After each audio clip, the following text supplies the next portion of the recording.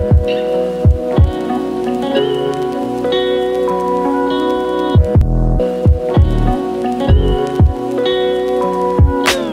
happy to be able to speak with you. I feel like I've been trying to speak to you for about a almost a year now, if not the entirety of 2021. Yes, it has been a minute, but I'm glad we're able to things have slowed down enough and we're able to chat this week. Yeah, and then on top of that, you're going to be my last my last interview of 2021. So congratulations. You get the end of the year with that. That's right. Yeah. All right. So the purpose of the Expanding Our Roots interview series is just to give you an opportunity to share your story, share your work with the community, and to be part of this ongoing project that 821 is doing to kind of reshape how we in Louisiana see Louisiana and how people on the outside see Louisiana. Because oftentimes you hear a lot of people talk about Louisiana being this place that everybody's leaving or a place where bad things are happening but there's not a lot of movement to stop those things from happening. And the whole purpose of this series is just to show that we have activists, we have change makers, we have change seekers, we have diversity, we have so much richness in this community that we should really kind of appreciate and not take for granted. And that's the whole purpose of it. I want to first ask specifically, how did we first connect? Because a lot of people I've interviewed, some of them I, my interview is the first time I've talked to them and other times I've known them for a while. So the interview is just like a conversation. So how do you remember how we first connected? Okay, I remember the first time we connected was through the Baton Rouge Youth Coalition. And I think you at the time had started 821 project and I was at the time facilitating for Dialogue on Race, which I'm still a facilitator for. Mm-hmm. And um, yeah, someone with Rouge Youth Coalition attempted to bring us together. I mean, we did meet a few times, but I, I remember that was our first way that we met. It was about four years ago. And I think that it was specifically for that project. And it didn't work out, but I think that we have kind of known each other since then. Yes. Yes. Yeah. We keep coming, kind of orbiting by each other. But never actually talking to each other until now. Well, and we facilitated this summer together. Yes, until yeah, until that, that's what I was going to say. Like like we had known. It's kind of like you know someone and you know of someone, and yeah. I think that we've known of, of each other, and then we worked together with Dialogue on Race, which was actually my first. You were my first co-facilitator with Dialogue on Race. So, yes, and I had a great experience facilitating with you. The whole idea of expanding our roots to the world comes from this idea that we have some place that we are rooted in, or some or some experience we're deeply rooted in. So the whole purpose of that is to take what we're deeply rooted in or where we're coming from and share our experiences and our lessons out to the world. So I wanted to ask you as the first official question of the conversation, where are you from and where are you coming from? I am from Baton Rouge. I was born here. I lived here until I was in about fourth grade, fifth grade. And then my family moved to Hammond about you know, 50 miles east of Baton Rouge. And it's funny because I stayed in Hammond from for middle school and half of high school. And then I went to Louisiana School in Natchitoches, which is a residential, a public residential uh, high school. And then um, while I was there, my mom moved back to Baton Rouge. So I consider myself from Baton Rouge, though most people in Baton Rouge, if I say I'm from Baton Rouge, their follow up question is, Where'd you go to high school? I did not go to high school here, but I feel like zero to 10, those are pretty pivotal years. So I claim Baton Rouge. I think that, you know, this, this is still a place that you have roots in. You know, I've interviewed plenty of people who are not from America, but their roots are in Baton Rouge because they've been so deeply connected to the community. So I think that counts. Yes, absolutely. So even though you spent a lot of your life across the state, you still have experiences with being a Louisianian. So I want I wanted to I want to know specifically what it was like growing up in these different places, like growing up in Hammond and then and in Baton Rouge and then going to school in Natchitoches. Interesting, honestly. So um as I said, I was born in Baton Rouge and I lived here until I was about 10. My parents got divorced when I was 3 and and that really changed a lot for our family, especially financially we had been going, my sister and I have an older sister. She and I were going to private school in Baton Rouge. This is in the early 90s. And at the time, the school system here in Baton Rouge was more racially segregated then than it is now. At the time, we were still under like a court longest standing court uh, decree to desegregate, the only one in the country, I believe, longest standing one.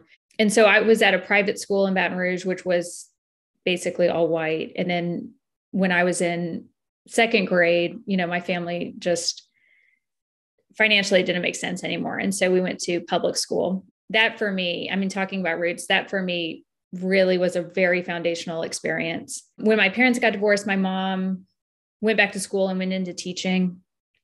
And so she was teaching in public schools. I was a student at public school and going from a pretty affluent private white school to a predominantly black public school in Baton Rouge was just very eye opening. I feel like a lot of times Baton Rouge is kind of described as this, you know, it's like a tale of two cities. There's just such a stark contrast between um, different parts of the city. And as a child, I really lived in both those worlds when I was like six, seven, eight, nine years old. So I was in at LaSalle Public School here in Baton Rouge. I was there in um, second and third grade. And by the time I was in fourth grade, my mom had gotten a job at Southeastern University in Hammond. So she moved to Hammond. And I, my parents, frankly, just didn't want me in public school anymore. And I can talk a bit more about that too. Socially, it was fine, public school. Like I got along with other kids and everything. Academically, it was really hard, I think, for my mom, especially as someone who um, really cared about education. I just, what was being offered at LaSalle at the time was not totally up to par. My when I got there in second grade, my second grade teacher made an informal arrangement with a third grade teacher and I was able to attend third grade every day for second grade. So I would go to the second grade class, check in, then I would go over to her name was Miss Mims and I adored her. Went to Miss Mims class and spent the day with her third grade class. And then at the end of that year, my third grade teacher, Miss Mims, tried to make the same arrangement with a fourth grade teacher. Understandably, the fourth grade teacher was like, um, no, I have enough kids in my class. And so I just repeated third grade. So I did second, skipped second grade and repeated third grade. Uh, did it twice. And it just, it, you know, as it sounds like that just didn't work. And so my mom had gotten transfer or gotten the job opportunity in Hammond, moved to Hammond, and I didn't get into the private school there. And so my parents put me back into private school here in Baton Rouge and I commuted. I will say, as a fourth grader, going back to private school after being in public school for two years here, and also just at by that point, my family, I mean, I, I feel like we had just totally changed classes. We were working class family, you know, my parents were really struggling to make ends meet. And so when I returned to that private school, it was with very different take on things. It was a very foundational experience, especially because my family's like our financial situation had changed. And so experiencing poverty firsthand, but also being in a setting of other students that were experiencing poverty, the vast majority of them. I mean, one one thing that I remember going from public school to or going from private school to public school, one some things that I remember at the beginning of that second grade year is like, first of all, having to go shopping for um, school supplies. Like at my private school, the first day of school, you go in, everything's set out on your desk, there's a label on your desk. And then for the public school, it was like we got a list and we had to go pick out our own stuff. It was just so different to me. And I remember asking my mom about it, and she told me about public school funding and just you know and, and the other thing is i remember this was very i remember this so clearly the first day of school at uh, when I went to LaSalle at the public school, I remember them calling names on the roster. And as a seven year old, like kids that were supposed to be in my class were not there. And, um, and I was like worried. Like, I was like, well, where are they? I mean, who would miss your first day of class? And I remember talking to my mom about it. And she's like, you know, a lot of your classmates have a lot of flux, experience a lot of change. They might be moving a lot. And in some ways, that was a really almost like foreshadowing message from her because then that was my experience from there on was a lot of moving. And, and, but I, yeah, I remember in first grade when I was at the private school, there was one student who left mid year and she, you know, like we threw a party for her Um, her parents got transferred. She moved out of state and they threw a party for her. And then I remember when I was in public school, it was like students were leaving the school all the time and there was no going away party. They, there wasn't even like, hey, today's my last day. You know, a lot of times even they themselves maybe wouldn't have even known that they were going to be transferred to another school. And so just kind of recognizing that aspect of poverty and working class experiences in the United States, just how much flux there is associated with it. I don't know. It was it was there was a very stark contrast um, between the two schools. And then I moved to Hammond, and in Hammond, Hammond was like I don't want to hate on Hammond. I did not enjoy living in Hammond. I had some a solid group of friends, um, but then by high school, when I had the opportunity to go to Louisiana school in Natchitoches, uh, I learned about this public boarding school, and I applied and I got in, and I was super eager to go. And uh, living in Natchitoches, Natchitoches is a really cute town. That school is a total, I mean, it is just so unique for this state. It has a ways to go in terms of diversity, but it was way more diverse than the public or private schools that I had been in in elementary or middle school. Uh, more of a multicultural experience. I had classmates and suite mates really who were born in other countries, other continents, and um, and so that was a really great experience too. And I'm really close to a lot of my classmates still from Louisiana school. And I feel very committed and connected to that institution still and kind of helping that institution resolve some of its issues. Yeah. And then my, while I was in high school there, my mom had moved back to Baton Rouge. And, um, and so when I graduated, I came back to Baton Rouge having, you know, not much of a community here, but um, but in some ways, it did feel like coming back home, moving back here. I'm hearing from what you talk about is that, you know, when being exposed to life outside of your bubble at a young age is probably very, you know, transformative because a lot of times young people either they're in a bubble their whole lives or they're exposed to adversity so early or so or so quickly in their lives cognizant that their reality is not other people's realities. And that kind of transforms how they see the world. Because it's interesting how, for you, your parents kind of saw private school as a school that, you know, as having better education, better opportunities. And I had the opposite experience. I was in private school when I was in elementary school. My mom actually had the opposite experience when she was like not feeling the private school I was going to. So I ended up in public school and that was how I ended up going to McKinley Middle. And then I went to McKinley High because I was a great scholars student. So I was able to go to, to gifted school, gifted, be in the gifted great scholars program at McKinley, even though I lived in North Baton Rouge. So for me, you know, it was just, it was just a very powerful experience to go from a private school that didn't have the best educational outcomes for me and then to go to a public school where I was able to do visual and performing arts and meet people with diverse backgrounds. And for me, I was able to see diversity within my own community. That for me, I would have to say was very transformative. And I keep using that word a lot, but that's the only word I can use right now with my booster brain. But um, but but yeah, it was for me being in high school and going to school with Latino, Asian American, Arab students, international students, in my school in the hood, you know, the school with so much history like McKinley High, it really gave me a different understanding of my community because I, unlike you, I was, I spent my entire formative years from birth to 17 living in Baton Rouge. Yeah. And then I left when I turned 17 to go to college in New Orleans, but I spent my first, my grade school years in one place. Yeah. And I will say, um, so when I went to that when I went into public school when I was in second grade, you know, I did get tested for gifted and I was deemed not gifted. And so I was just, you know, I went to a traditional school. And I think um, I will say when I went to the private school in Hammond, that academically was not impressive to me or my parents. I mean, my my mom especially was just ecstatic when I decided to go to pursue and got in and uh, went to Louisiana school because she was overpaying tuition for mediocrity, as she put it. So, yeah. Right. But Relatable. yeah.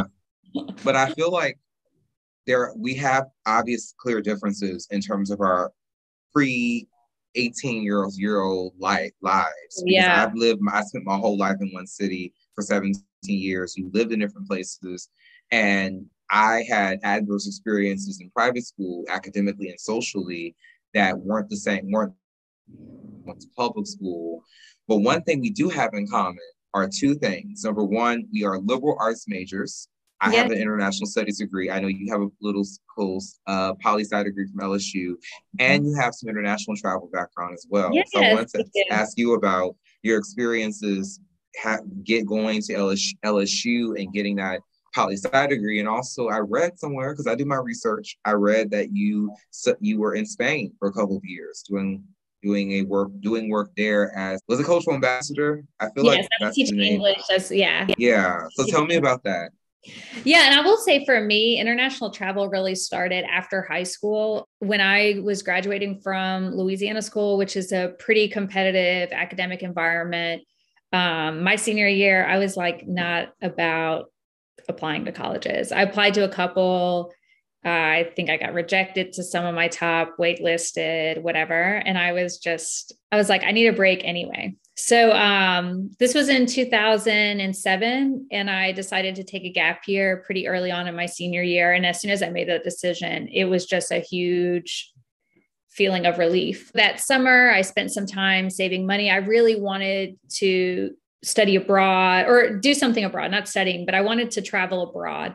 And during high school, I had taken French, and my senior year, I added Spanish my mom is a was a French teacher. She speaks French fluently. I grew up around a lot of French. Her family is um, Cajun, and my grandfather spoke French, and so uh, I just always took French elementary through 12th grade. And my senior year, I actually needed an extra elective, and I was like, let me just add Spanish, and and I loved it, and I was able to pick it up really quick and um, was way easier for me to pronounce than than French. And so when I decided to take a gap year, I was like, okay, do I want to go to West Africa, um, or do I want to go to um, South America? And I ended up going to South America. So I saved money and I did a volunteer program in Peru.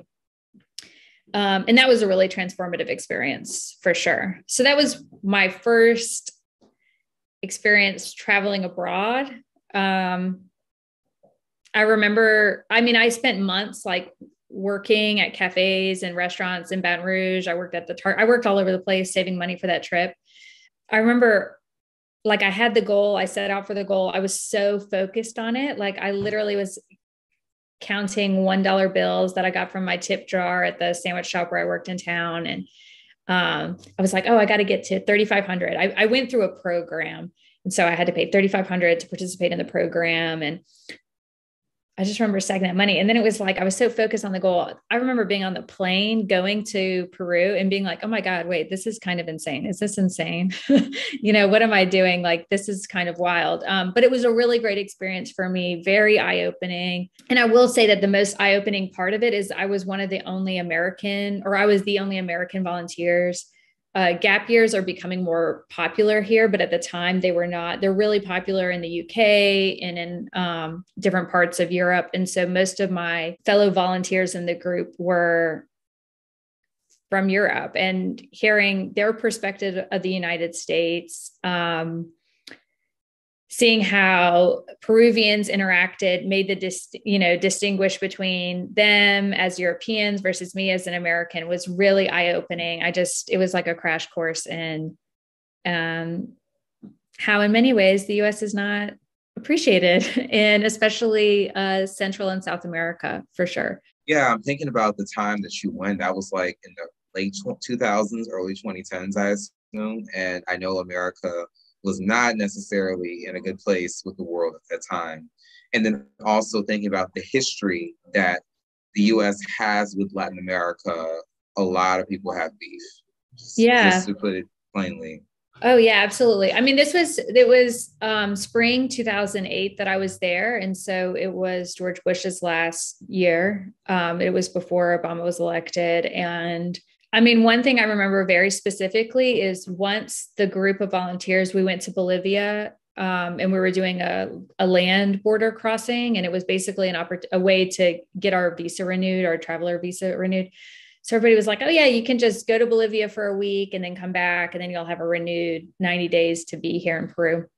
And so we went, and I was like the only one in my group of about five of us that got waved over and told I had to pay like 800 Bolivianos or something. Um, and it was free for everybody else. And I was like, oh, why? you know, why do I have to pay? They were like, well, you have to buy a five year visa. They get to just come in as travelers. And they were like, it's because of policies that the US has for South American travelers. So that was basically what we do. You know, if somebody from Bolivia wants to visit the United States, they have to pay for a visa. They can't just come and visit um, in the same way that we get to travel so freely in most, to most countries. And so that was really, I was like, okay, I, I get that.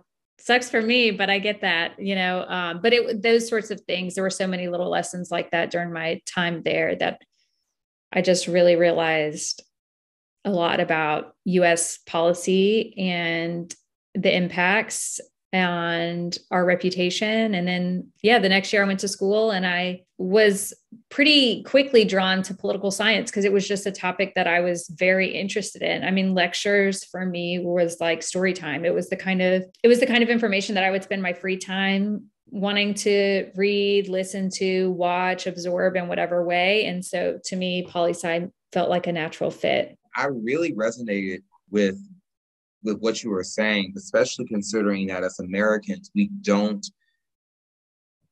pay attention to how the world sees this country. And we also think we're such the center of everything that we forget that people don't see us as a center. And on top of that, the, the policies that we put into place for other countries, we don't take into consideration or appreciate just how deeply impactful and maybe even problematic, you may argue, some of these policies are. It's like we'll treat certain countries a certain way, and then we'll treat other countries the, the exact opposite, especially when it comes, excuse me, when it comes to foreign policy. You know, it's like one standard we have for one country, we don't have for the other.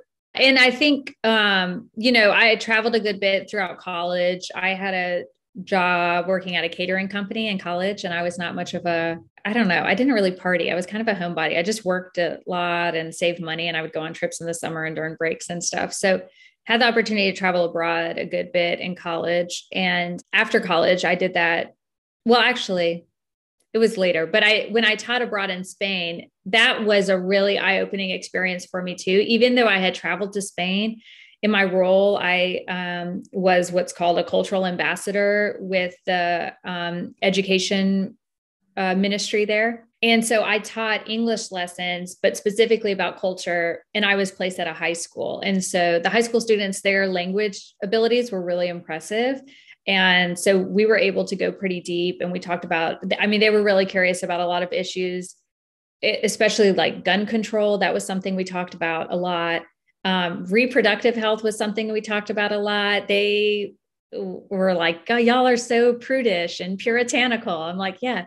Um, but it was, you know, having those dialogues um, with students and with colleagues, because a lot of the people who taught in the English department too were eager to just kind of, you know, talk through some of the issues. I mean, it really expanded my understanding of what makes the United States unique, problematic, redeeming in some ways. I mean, there were some things that when I was abroad were really highlighted for me, but there was a lot that I was like, oh, geez, um, it's worse than I even realized before. So, one thing I hate is I don't hate, but one thing I'm not really a fan of is a binary way of thinking. There's good and bad, yeah. and maybe neutral in every context. no, I actually went to Europe several times when I was in, you know, when I was in high school and college. I was very blessed to go to Europe a year after you were you you were in Peru I, in the summer of 2009 when I finished middle school before I went to high school and I went to Italy with my middle school and my family and that was really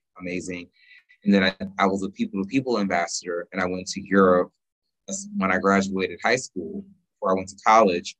And those trips were amazing. They were beautiful but I oftentimes realized how much I had romanticized other countries because I had been fed this belief that, oh, America is not that great of a country. Everybody else is better.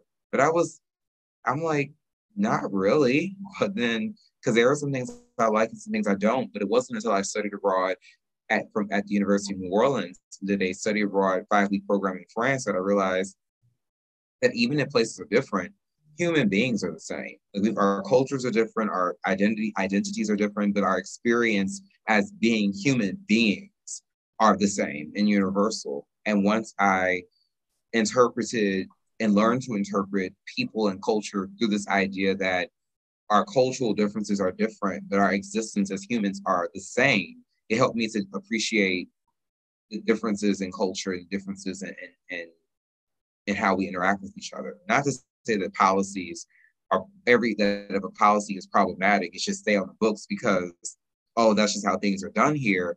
But more so, travel made me more curious about the world as opposed to critical. Just yeah, like oh yeah, critical.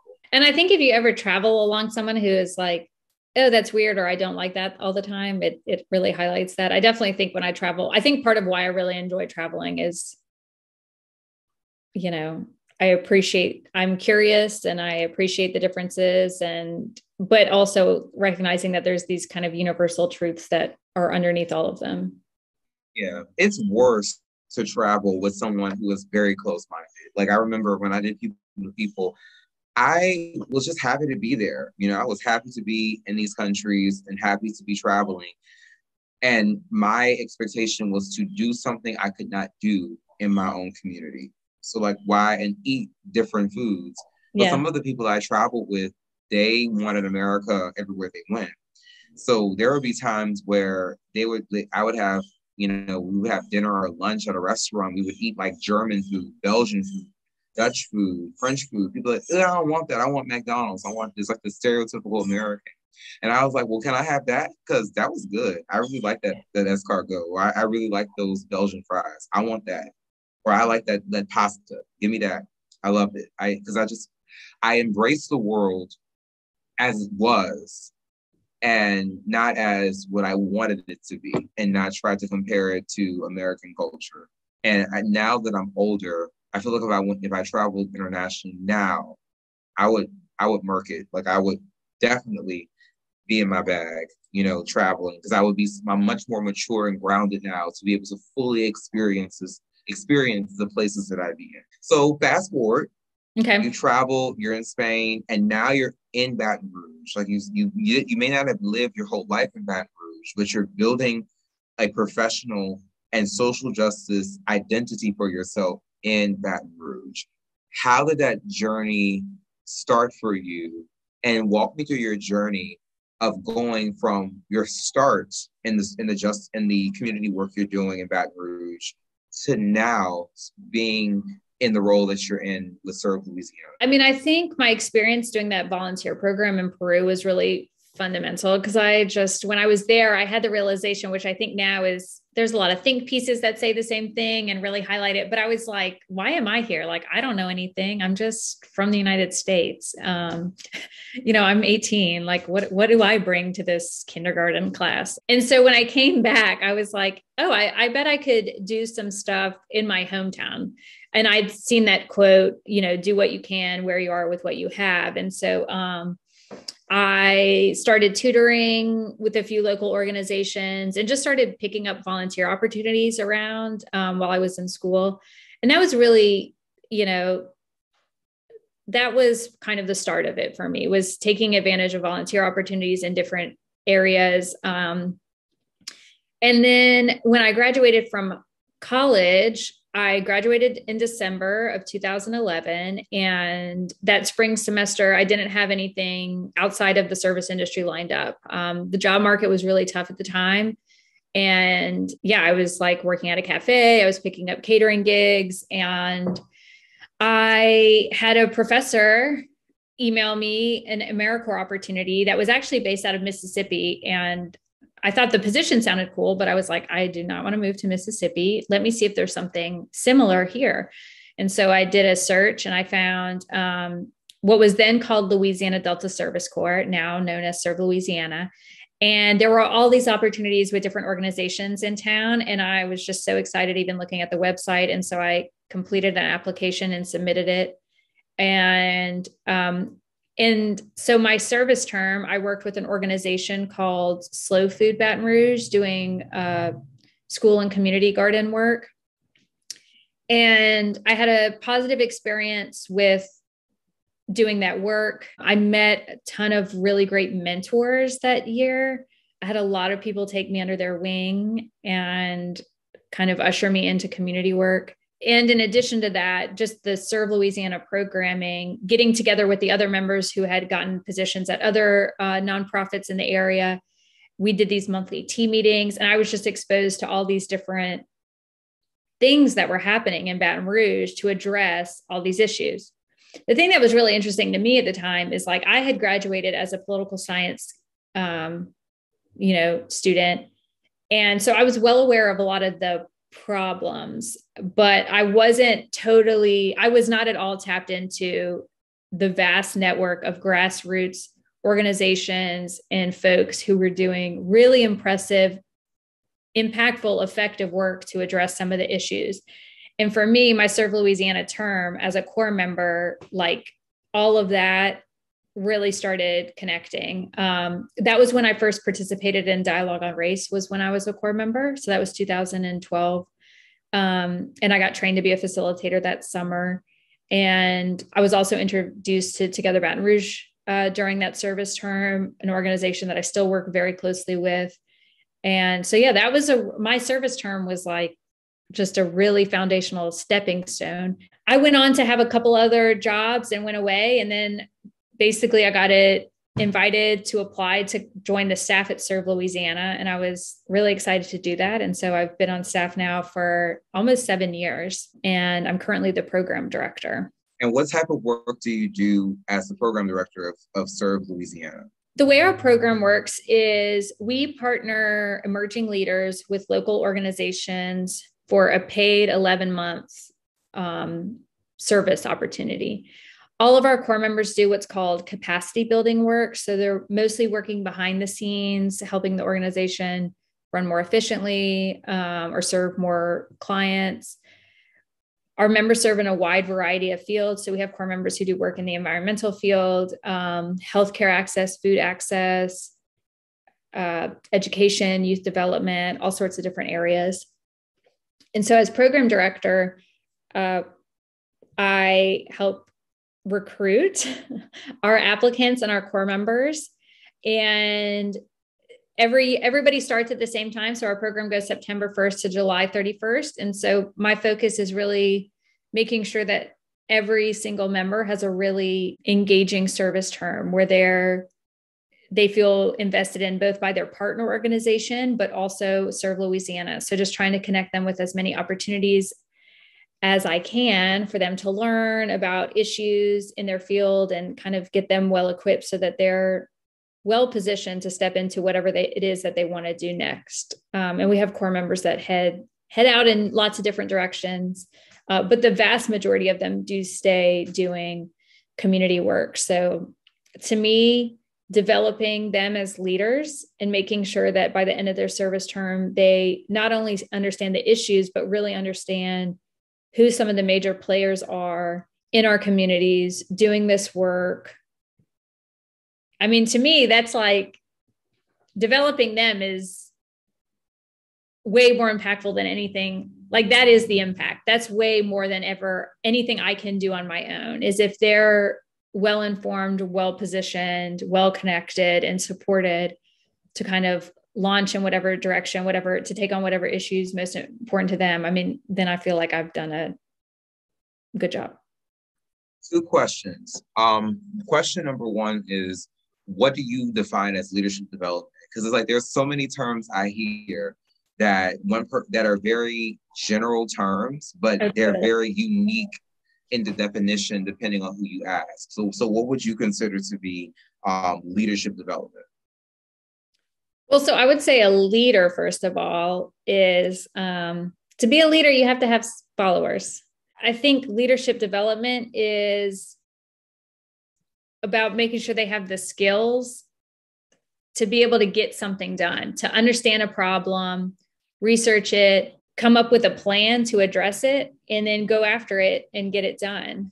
Um, a lot of my understanding of leadership development comes from Together Baton Rouge, which is all about leadership development. It's all about organizing, and really organizing is about developing folks so that they, you know, can get up and talk in front of a city council or understand how to um, how to make an impact, how to you know make sure that their programming gets in front of the right clients or whoever would benefit most from it. And so it's tailored for sure, but I think you know when we're looking for core members, I'm definitely looking for first of all I am looking for people from Louisiana who are invested in Louisiana. We invest so much in our core members that, um, you know, I want a lot of that knowledge to stay here. No shade to people who are like, I got to get out of Louisiana and they want to move somewhere else. I totally get that. But, um, you know, we've had a really different shift in our core members who we recruit and retain as core members. Um, when I was a core member, the vast majority of the team in New Orleans was from out of state. And so we're just really working hard to shift that ratio. And this year we have more members from Louisiana, from New Orleans. And I think that really makes a difference to our program for sure, but also to the members themselves. And as I'm hearing you talk about like this leadership development, I'm also thinking about another question, the question that I wanted to ask you, which was relevant to this idea of your past informing your present, you know, because you've done a lot of travel internationally. You've learned a lot about yourself and your identity, you know, internet traveling internationally, but also your upbringing and the different experiences that you had living in different places and going to school in different places. So I guess the question I have specifically is when you think about the type of leadership development that you want to engage in as program director, how do your past experiences, domestic and international, kind of shape that approach that you have and maybe even the definition? I think in terms of my experiences traveling, living other places, in my own development, I think one way that it's really influenced how I do the work at program as program director at Serve Louisiana, to me, it's just paramount developing local talent. We have so many extraordinary people here who just need an opportunity to grow and learn and sometimes make mistakes and that's what i really cherish about service terms is it's designed to be a learning opportunity. And so we just try to make it as rich of a learning opportunity as possible because i really do think that's the only pathway forward is if people from within the community have had the opportunities to attend trainings and workshops and sit in meetings and network and and to do all that stuff while getting paid earning money to go back to school or pay off student loans having health insurance while they're doing it um, you know I, I just think that's a great way to go about it in terms of addressing any issues i asked that question because i feel like it's important to know that everything is connected i feel like your entry into the work in the community was very similar to mine, except I didn't think that I could make a difference in my community because I didn't think that my community was a place for me. And then it was ironically through travel and living in other places in the country, like in New England, that I realized that I have way too many gifts to be selfish with them. You know, I have way too many. I I I am an introvert who loves bringing people together, and I feel like you know, as it relates to the work I do with 821, my goal was to give people a space to feel as though they belong in their community because I didn't feel like I belonged.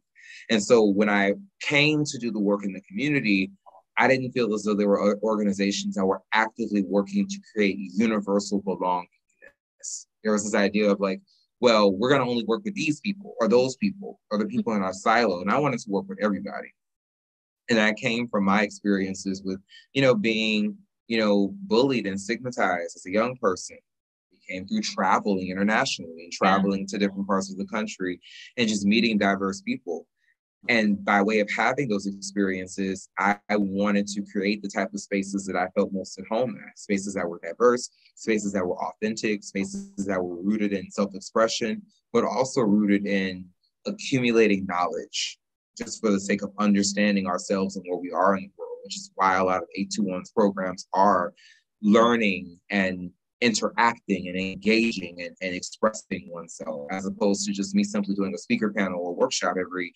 every other day you know talking at people. You did mention specifically that you want to develop people who are rooted in this community.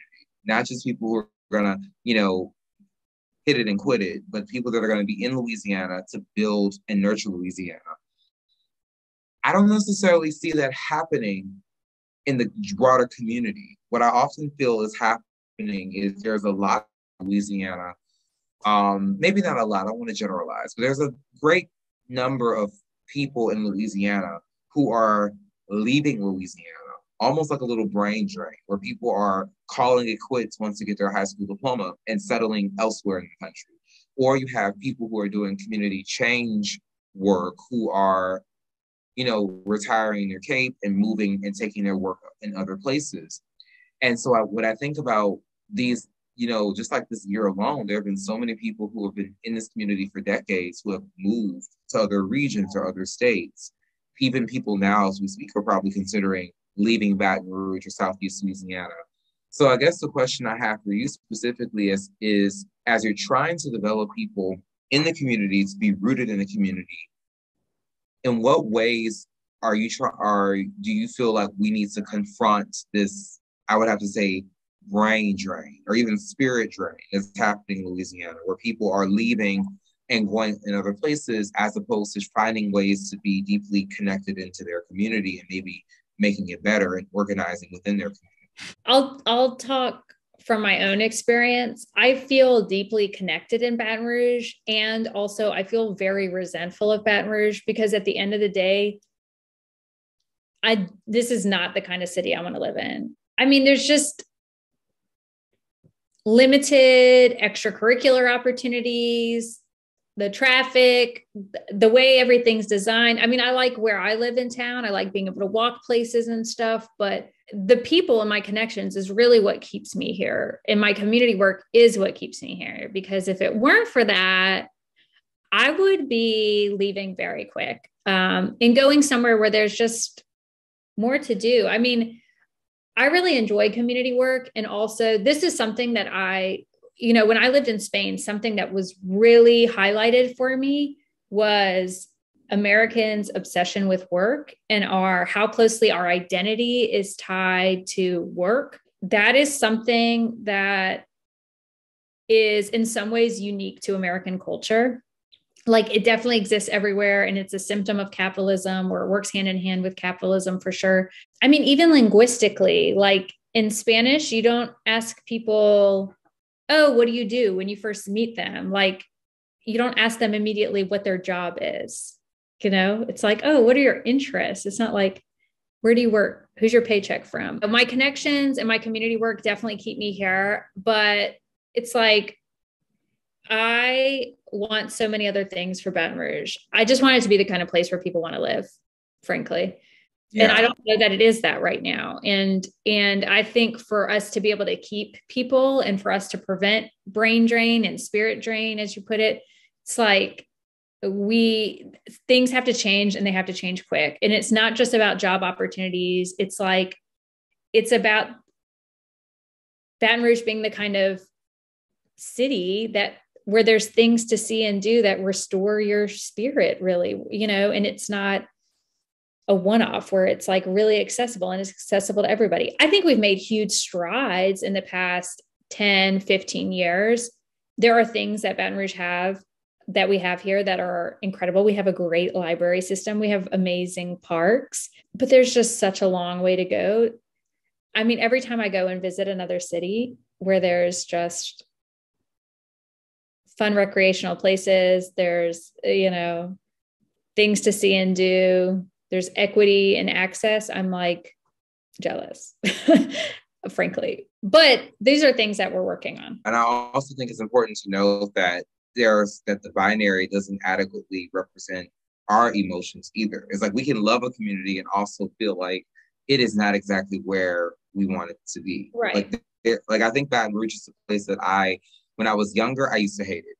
Yeah. And I don't hate it anymore, but I also am not complacent with what things are like now. And yeah. I do, and the reason why I have not left was because I feel like there's just way too much that I can do yeah. before I throw in the towel. You know, there's just oh, because yeah. I feel as though the type of spaces that I create and so many other people create, because I'm not unique in terms of creating spaces. There are so many people who did it before me. They're doing it while I'm doing it and will probably do it after me. You know, creating spaces, you know, I think about the fact that if everybody leaves and take their they takes their creativity and their and their their journeys with them, their stories with them, their perspectives, their ideas with them, then there's like this negative feedback cycle where Baton Rouge continues to be a place that either doesn't grow or grows extremely slowly because yeah. there's nothing to catalyze the growth. All the catalysts are going to places where they blend in. And in yeah. Baton Rouge, yeah. it's easy to not blend in because if you're unique and different, then you don't blend in with everybody else. But sometimes being the vanguard, being the only person doing a certain thing is exhausting. So also supporting, I, I really resonated with, with what you were saying about support. Like the support is what keeps you to a community. And if you don't have that support, whether that be socially or professionally or emotionally, then you're out of here, you know? I know. I think about that a lot. Like I guess I think about it in terms of like when I was in Spain, for example, you know, it's like I didn't I didn't go to Spain. I wasn't like trying to mix it up. Like I just got to go and live there and benefit from their nice infrastructure and and all these things. And and I only did it for a year.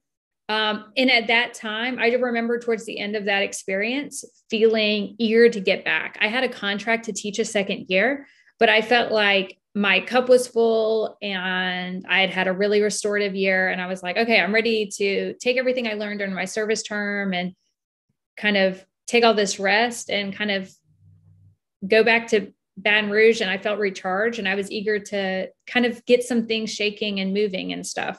But yeah, I want so much more for this city. I really do. And for everybody who lives here. Well, we're getting into like the final descent of the interview. And I want to make sure it ends not on a false positive note, but on a constructively positive note. Like we understand there's so much to do, but I don't want to leave with this feeling of there's really nothing we can do. So I guess the question I have for you, first of all, is relevant to your current work with Serve Louisiana. You know, based on what you're telling me, you do a lot of collaborations with nonprofits. You know, it's to my understanding that core members collaborate with nonprofits with these these 11 month, you know, assignments It's how they work to give their talents and their skills to these nonprofits. And I'm sure that you all have goals to develop and deepen relationships with those you've already worked with. But what are some other kind of nonprofits that you'd like to support with Serve Louisiana in the future? Something that I really like about our current grant is that we're really most interested in supporting new organizations that are just kind of starting out um, so that they can really launch and and get their work going um, we have seen a huge uptick in organization we have a ton of positions that are addressing environmental issues and that started in the last five years and i think that's going to continue to trend that way just because of the climate crisis and with louisiana being on the front line of that. Um, in the past couple of years we've had more organizations that are specifically serving immigration immigrant populations and i i have a personal interest and connection with that work. Um, and that's something i'm passionate about. Um, we have core members that work in within criminal justice reform work. I think that's really impressive and important and you know, really important work. I mean, the thing that's hard with Louisiana is it's like there are so many pressures on our families. It's all important work. and so, um, and there's a lot to get done and to get done simultaneously, really, because it's, you know, it's hard to build some sort of hierarchy of like what which issue takes precedent. I mean, they're all very pressing issues. Maybe just seeing how these issues intersect, because I think that there are a lot of issues that overlap that can create fertile ground for collaboration, like climate change and racism. You know, oh, yeah. about like I know plenty of organizations in the river parishes that are doing a lot of organizing against like you know chemical plants and refineries and other plants that are oh, messing yeah. up the environment and those parishes are mostly if not exclusively african american and that yeah. intersection is important oh it's very important and i think you know we have part of our programming is every month we have a different issue that we look at with the core members. And we look at not only the issues but like i was saying earlier who's working to address those issues.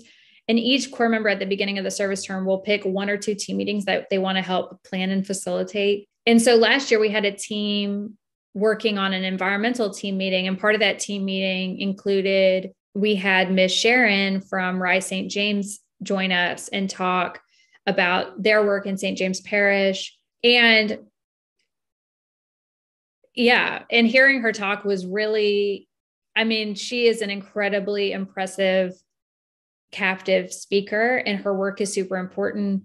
Her i mean even talking about like listening to her talk about her own development i think was incredible. I know it was incredible for me. I think it was incredible for the core members because she talked about how she was a teacher you know and then when she was 65 she basically started organizing. She didn't even know what organizing was and but she just has like this really strong intuition um, when it comes to organizing. And and now she's getting all this support national support national recognition for her work. And she's making incredible strides. And of course it's not just miss sharon. I mean there's a lot of people working alongside her but rise st james is doing really impressive work um, with the bucket brigade and some other organizations in the area. But we really do try to bring that to the forefront for our core members so that they can make those connections and kind of understand how it all intersects during their service term and that they know that they're not going to do all the work all the things at once you know? There's so much happening. I think the other thing is a lot of times when we bring in um, guest speakers you know we have so many folks who've been doing this work for a really long time. And I do think it's a really powerful message for our core members, especially. We don't have an age cap, but the vast majority of them are like in their 20s and 30s. And, you know, for them to hear from somebody who's in their 60s and they describe what it's like, you know, and they've been doing the work for a long time. Um, you know, how do you keep your joy and how do you how do you do this work and not let it totally consume you and strike a balance and yeah i mean there's like big lessons in there for sure. Yeah and i think another thing that is important about that those like things you do with like the speaker the speaker series and just engaging with the community is showing the core members that there have been people who have been doing this work for a while so don't think that nothing is happening well exactly and that's what i you know that is one of the biggest things to me is because um, especially criminal justice is an issue that every year the core members want to talk about prison reform criminal justice reform. And um, you know and we will invite a variety of perspectives even within the criminal justice reform community. I mean making sure that we have people who are explaining you know the importance of centering abolition like there should be no prisons in that in that idea and that that goal um, but also and also having organizations who say yes that's the goal and this year we worked really hard and we were able to pass this legislation at a state level to protect pregnant women from solitary confinement. I have heard people say, like, oh, you know, that's so absurd that that has to be done, or that's so small, or something. And it's like, it's important work and you just like you get it done how you can and and you know within our team meetings and our uh, professional developments that we have for the core members we really do try to highlight a lot of the strides that have been made. I, one thing i would love to see more are organizations embracing global citizenship because oftentimes i think that because we live in a state with such a rich unique culture and because we live in a state that's kind of isolated in a way from the rest of the world um, in terms of our culture, our practices, we're very different from the rest of America. We kind of get caught up in our in what's in what's only in our parish or what's only in the 64 parishes, not realizing that the world is so much bigger than just where we live. And that's like one of the things that 821 has been trying to do, showing global citizenship is not just about traveling and getting your passport stamped, but simply about understanding that some of the issues you're experiencing here in your community are issues that we are collectively experiencing worldwide, which means that there are so many ways that we all can learn from each other and also ways that we could be more cognizant of our differences and appreciating those differences because we don't live in the world by ourselves and we can't operate in the world by ourselves. So I would love to see more local nonprofits thinking more about their place, not only in their local community, but also in the global community. Because there are some projects that are happening in one part of the world that could be implemented and modified for the community. And there are mm. other things that, you know, other you know organizations in Louisiana that focus specifically on that global connectedness that Louisiana has through its business, its tourism, and its and its trade that other organizations like yours could benefit from. Like maybe having people from different organizations that focus on like foreign affairs or business or global social justice movements like with climate change and and with um and refugee resettlement that also yeah. could be of good use. Yeah, absolutely. I mean, you said refugee resettlement at the end. I mean, that to me is huge. Um, and there's like very strong connections between Louisiana and that issue for sure. Yeah, historical and current. I mean, yeah. There, I mean, with there's with all the stuff that's going on in Afghanistan, you know, there was an article I read from the Advocate that talked about there that we are getting, you mm-hmm. know, a mm-hmm. handful of Af- Afghan refugees, and also core ethnic groups of, were refugees, like the Vietnamese Americans. Many came as refugees from Vietnam. When the war ended, so understanding that and having organizations kind of think outside and within simultaneously, I think is very important. Yeah. Definitely. Last question I have. Well, last question that I have, because I have another question that I want to ask you, but it's a but you'll kind of see where I'm going with this. You're involved in a lot, you do a lot. We've spent a lot of time talking about Serve Louisiana, but I want to recognize that you also play a very pivotal role in Together Baton Rouge, and you've been with Dialogue on Race for almost a decade. So you have a lot that you've done and, and a lot that you are engaged in, and probably a lot you want to be engaged in. So, what, how do you want the community to see you, seeing that you're so involved? Like, how do you want the community to see you as an organizer and as a leader? I would want to be seen as someone who is um, committed to building relationships and identifying common interests so that when our interests align, we can get something done. That might not be all the time. We might not always agree, but where we do and when we do, like let's work on that. Let's let's fix it. Let's get it done. Um, I'd also want to be seen as someone who's really committed and dedicated. I think a lot of the work with Serve Louisiana, Dialogue on Race, and Together Baton Rouge um, all of that is about like laying a strong foundation. With Serve Louisiana, we're developing leaders, and I'm really investing in each and every core member every year. They might not get deep and rooted in their community work for five or 10 years down the road, just like I didn't as a core member. You know, I was a core member in 2000, um, 2012. So um, here I am almost 10 years later. And so I think you know, same with dialogue on race. Every year I do facilitate multiple series because um, I really believe in that curriculum and the structure of that dialogue and how it's set up. I think it's really transformative. And I think it has the potential to really change so much.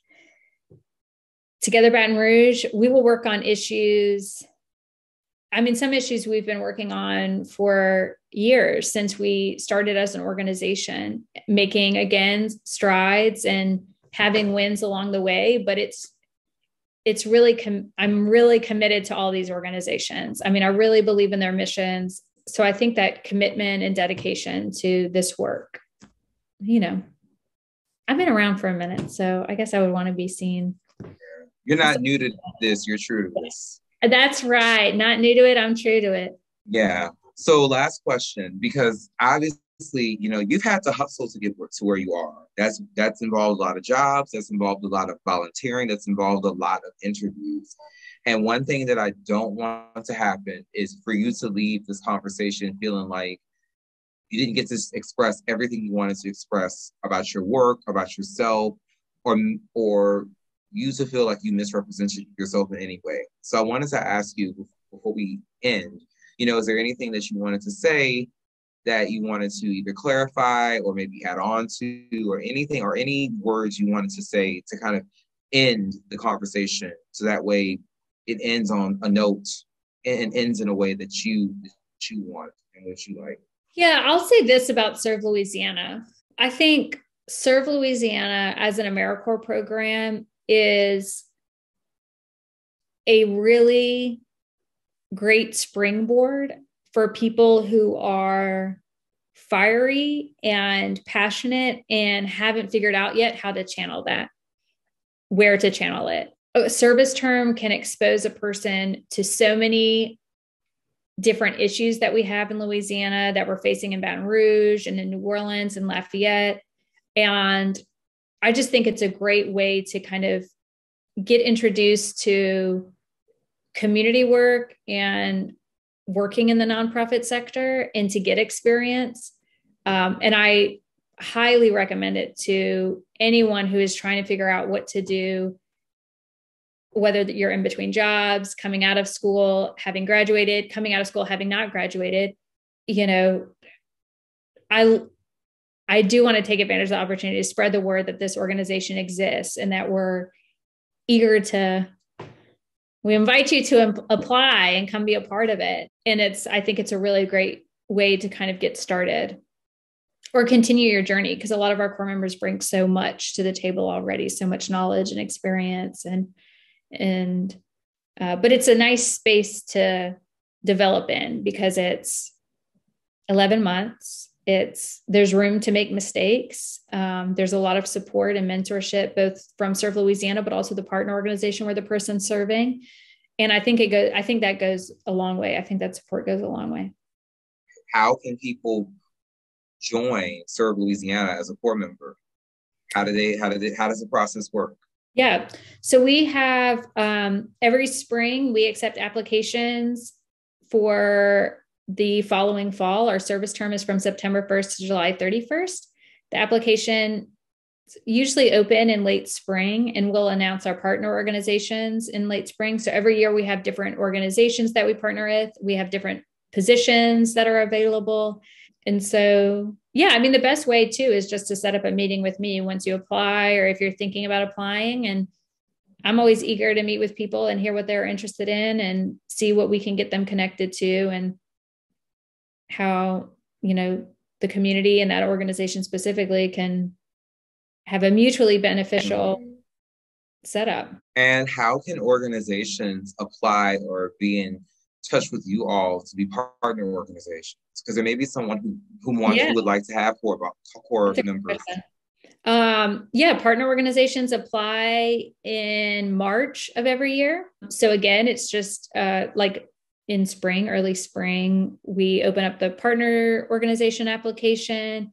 Uh, you can set up a meeting with us, servelouisiana.org check it out. I'm always available to answer questions. Our executive director, Lisa, usually handles the partnership side of things, and I head up the um, the search for potential core members and go through that application process with the core members and um, applicants. But yes, partner organizations can come to us in the spring too. All righty.